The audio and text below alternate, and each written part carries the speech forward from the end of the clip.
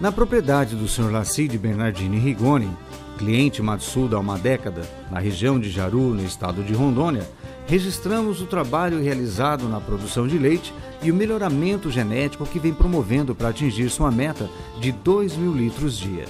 Eu cheguei em Rondônia no ano de 1990, como madeireiro, e daí fui trabalhando, aí resolvi entrar na pecuária. Formamos uma fazenda no Vale do Anari e há 14 anos começamos essa aqui, era todo mata aqui. E há 5 anos eu entrei no ramo do leite. Ele fala também da importância de investir corretamente na nutrição de seus animais, do suplemento ao pasto, bem como a utilização das técnicas de reprodução, de ensilagem, o bom manejo no bezerreiro e da assistência do representante indicando o produto correto com orientação, inclusive, da zootecnista na região, Gilcicleia Souza.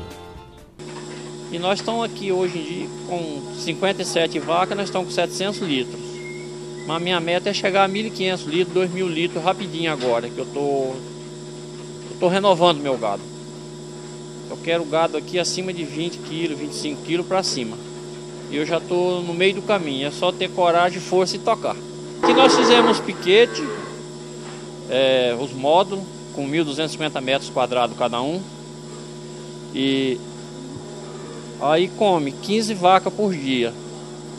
E claro, com a complementação do, da silagem, da ração, porque a vaca que, que produz ela tem que ter ração, porque ela produz pela boca. Aí a silagem faz silagem por um ano inteiro. A minha silagem esse ano ela não terminou, já chegou a outra colheita. Então come silagem um ano inteiro. E na época da seca, a silagem é que salva a gente, porque o pasto seca, as vacas que estão tá a pasto aí, o que, que ela vai comer se ela não tiver um, uma silagem? Ela não vai nem manter o leite para o bezerro. Nossa ordenha ela é toda automatizada. Ela da teta da vaca vai direto para o tanque. E nós temos curral, temos piquete do bezerro, tem a bezerreira, que o bezerro quando nasce ele fica 40 dias aqui preso para evitar estresse, evitar que. Principalmente na época da chuva, né?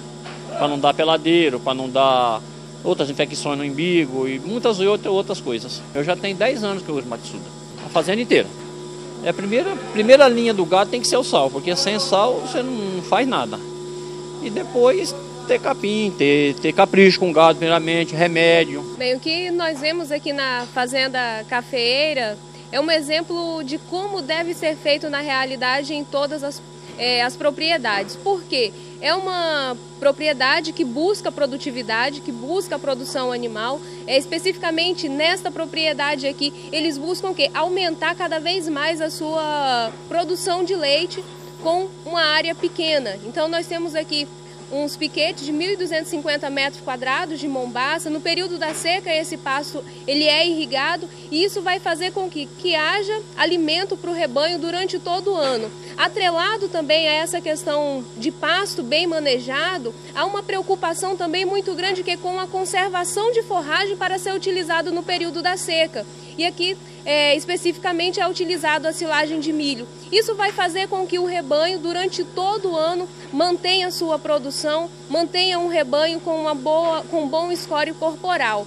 Junto também a parte nutricional desse rebanho, não só pasto, mas também é importante que, que haja uma importante suplementação mineral. E isso vem sendo feito através do uso do top milk vitaminado para essas vacas, que recebem no momento da ordenha uma ração concentrada e a pasto elas têm também o uso do top milk puro e à vontade no coxo, assim também como os bezerros que recebem o suplemento mineral específico top bezerro precoce que também já está sendo suplementado todos esses bezerros, garantindo o que uma futura matriz mais saudável, porque essa é a intenção também da propriedade. A partir do momento que começa a trabalhar com inseminação artificial, que busca trabalhar com a FIV, é o que produzir dentro da sua própria propriedade a sua futura matriz, reduzindo também o seu custo é, de matriz futuramente. Aqui em Rondônia, especificamente no caso da cidade de Jaru, nós temos a Volts Representações através do Diego e do Niltinho, eles que são responsáveis por atender os nossos pecuaristas aqui nessa região.